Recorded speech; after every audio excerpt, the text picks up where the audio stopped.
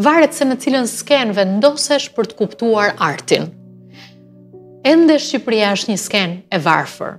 Mund të shikosh njeri të veshur tmerrësisht bukur, me një estetikë të jashtëzakonshme, por nëse ecën në një, në një trotuar të keq, apo në një rrugë të keqe, edhe e bukura do stonojë, sepse nuk është e përshtatshme aty.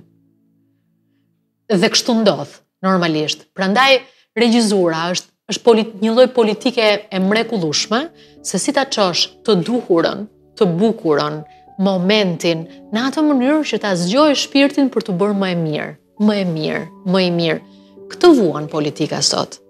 Politika sot vuan një element fort të mungesës së emocionales tek fjala. I er, ka zhbërë fjalën shpesh politika. E ka zhbërë fuqinë e fjalës. Pse?